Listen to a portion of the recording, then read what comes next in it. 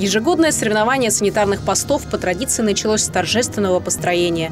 После этого обязательный ритуал. Командиры докладывают о готовности команд к испытаниям. И, наконец, отряды приступают к прохождению этапов. В этом году участие в соревновании приняло 16 школ Ленинского района все направления медицины школьники должны знать. И я надеюсь, они прекрасно покажут свои знания. И умение оказать даже в таком возрасте доврачебную, правильную медицинскую помощь дорогого стоит. Каждая команда, состоящая из пяти человек, должна была пройти девять этапов, на каждом из которых ребятам нужно было показать свои знания.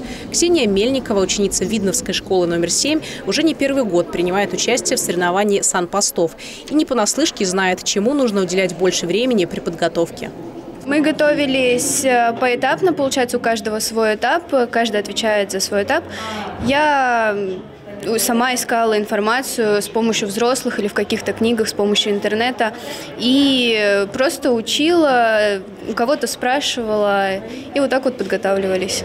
Теория нужна и важна, но без практики не обойтись, тем более в медицине. Так на одном из этапов ребята показывали, как нужно оказывать первую помощь. А оценивал их работу опытный врач, который внимательно следил за каждым действием школьников. Главное время. Вот, потому что время – это тоже большой фактор.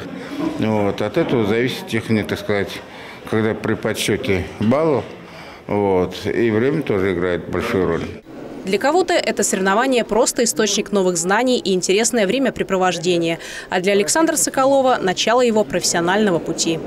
Эти соревнования, в первую очередь, это как начальная подготовка к тому, что э, многие из нас пойдут в медицинские вузы, и, к примеру, я, для меня это неплохая база, э, на которую я могу опираться.